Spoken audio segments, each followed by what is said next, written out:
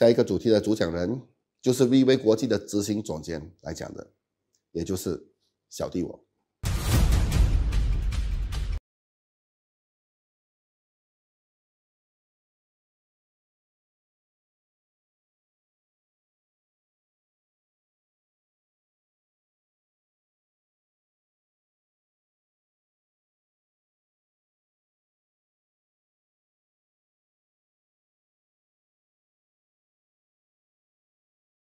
各位瑞威国际的伙伴们，你们好！到了今天晚上的最后一个主题了，也就是我的主题。主题名字叫做人物。瑞威经过这么多年，来到现在这个时候了，其实我也没有必要再跟你们说瑞威内部有多了不起的人物，里面有多少人开劳斯莱斯，里面有多少人住豪宅，哦，里面有多少人身价超过千万美金，或者里面的人现在生活多美满多快乐。我也没有必要再跟你说某某 VV 人有多了不起哦，多付出，多肯为 VV 牺牲，能力有多强。这些在平常的我们 VV 很多培训会里面，在不同的会议里面，我们时常都会讲到的。而这些也非常的明显，已经不是秘密了。那么如果你不知道，你只需要参与 VV 久一点，或者去 VV 里面问一下，你自然就会知道。今天很特别，今天对我来说。是一个很难得的机会，赢在 VV 三，也就是说，这是我第三次谈这个主题了，所以我想要趁这个机会来表达一下感受。什么感受？就是我过去十多年来在从事 VV，从我们 VV 人身上我看到的、感受到的感受。而这个我必须要从 VV 早期开始说。刚才 Joe 也有提到，VV 是从零开始的一家公司。既然是从零开始，意思就是说 VV 不买人，每个加入 VV 的人门槛都是一样的，没有一个 VV 人是有跟别人不一样的特别优惠。我是 VV 的创办人，早期呢人就比较少，都在我的视线里面。但是虽然人很少，不过你看组织运作就是这样的。人与人之间在一起运作一段时间后，避免不了的会产生摩擦，会产生冲突，可能需要让你们了解一下。我一开始就非常注重我们组织内人与人之间的和谐，所以在过去公司的培训会里面也好，一对一的沟通里面也好，我都会一直带动着，一直不断的示范着，我们互相提醒着。示范什么？提醒什么？就是如果你的组织想要大，我们需要包容，我们需要宽容，我们需要能够容纳更多。那么这样的一段一直不断的这个示范，一直这样的不断的提醒，导致我自己本身的思想行为也有着很大的影响。所以组织内要是有什么冲突，哦，利益上的冲突也好。权力上的斗争也好，我都会把这个问题当做第一重任，当做是最重要的事情来处理，甚至比业绩还重要。有时候甚至不眠不休的思考，想尽方法，用尽技巧，出尽功力，付出大代价，就算牺牲庞大的利益也在所不惜。想要在最短的速度内把彼此那个恩怨化解掉。不是按着，不是盖着而已，是真正的化解掉。就算有些恩怨是时间累积的，好需要时间来化解，我也绝对不会这样忘记掉，绝对不会任由它持续恶化。因为早期就是这样，我非常非常看重这一方面。就这样，时间一天一天的过去，一年一年的过去，VV 人就一直处在一个非常和谐。非常欢乐的气氛当中，一起成长着。那慢慢的，在外面你就会听到了别人给我们 VV 人的评价，什么评价？就是 VV 是一个非常团结的组织。真的，我也是这样认为。我们就是在这样的一个环境里面，一起上战场打仗的，南上北下，一起拼搏，一起去承担。一起受伤，一起流泪，一起变强，一起长大。我当这些人是我的战友，我内心当他们是自己人，我心里真正的认为，我能够牺牲一切来保他们的周全，付出一切来确保他们的成功。因为早期的团结真的是滴水不漏，这绝对不是那种只是停留在利益上的那种关系，绝对不是只是一起做生意这么简单。瑞威早期的人跟我的关系真的好到能抱住一起睡觉。慢慢的，久而久之，瑞威人就形成一种防护墙。就算外面攻击再大，我们组织面对再大的难题，都无法影响到的，都无法动摇到组织的根基。而这些人，尤其是 V 早期的时候，很多是上了年纪的人。你可以看到有一个这样的现象，就是在他们的面前，你什么都可以批评，就是不能批评到我。你可以跟他们批评 VV 的公司、VV 的产品、制度，就是不能批评到老板，就是我。你知道他们会讲吗？如果你批评的话，他们会当场红着眼、含着泪，然后很不给你面子的、很不客气的，直接跟你翻脸，甚至不要做你的生意。他们就是这样保护我，就是这样爱护我。这里面不只是组织领导人哦，里面也包括我们绿威的员工、我的同事，所有带着绿威规章的人。我不知道你们听到这个你会怎样怎样想，我也不我也不管你会怎样想，或者这样，你可以尝试站在我的角度想，如果换做你是我，你的感受是什么？所以我说。我的确欠 V V 人很多，这种恩情这辈子也还不了。我总觉得他们的成功、他们的幸福，包括他们的家庭，一切，我都需要为他们操心。我真心认为，没有什么比在这样的环境工作还值得让人开心，所以我做的很开心，我做的很爽，因为我知道工作环境复杂。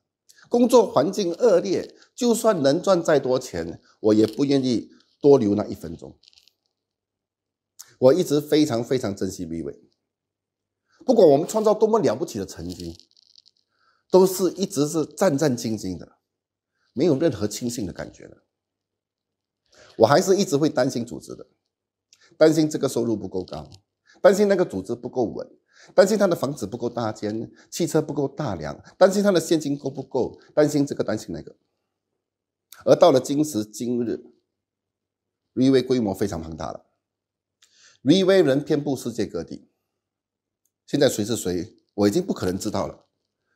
但是从一开始就有这样的现象，并没有淡化哦，不但没有淡化，甚至更夸张。组织从早期的这一批人一层一层的影响给刚加入的人，而这些新人在参加 V V 的培训也好，参加 V V 的会议也好，听这些早期的故事，那么刚刚加入的这些新人慢慢就变成旧人了，再传承这些故事给新人。那么很多 V V 人虽然没有直接认识我，也没有直接接触过我，从来也没有跟我对过话，但是对我的感恩、对我的爱戴、对我的保护也是非常极端的。有时我想，我何德何能，能得到如此崇高的对待？先不说成就，单单受到这种对待，我已经觉得此生已经无憾。这其实是我这十多年来最想跟人分享的感受，也是我，也是我觉得最值得分享的东西，就是这种感动，就是这种满足，而这种现象并没有任何停止的迹象。甚至还有越演越烈的趋势。而最重要的是，我要强调的是，这些这么支持我的人，今天已经都不是以往的那个普通人了。现在他们个个都是千万身家的富豪，领导着庞大组织的领导人，对社会有巨大贡献、有很大的影响力的人。这些都是跟我一起并肩作战的战友。一天，今天呢，今天呢，一个一个变成了大将军。更难得的是，他们都完全能够听从我一个人的单一指挥的一群大将军。我想请问你，你能衡量得出这样一个组织的价值吗？它不是用钱来衡量的。这就是 VV 真正最大的成功，最大的价值不是其他的东西。VV 最大的保障就是有了这一群 VV 人。就算用我的余生，百分之两百的努力，我都无法偿还。对我来说，它是比我的生命还要可贵的一样东西。我一直觉得我这一生没有白活，我甚至一点都不羡慕那些世界级的企业非常成功的巨头，他们体会不到我的满足感。为什么今天我要特地在这里讲这一些？因为这就是你加入立威。也同样会有的感受，而我真心希望你也能感受感受到的感受。今天 VV 能够容纳这样大的组织，证明你在同一个这样的环境里面，也应该能够得到。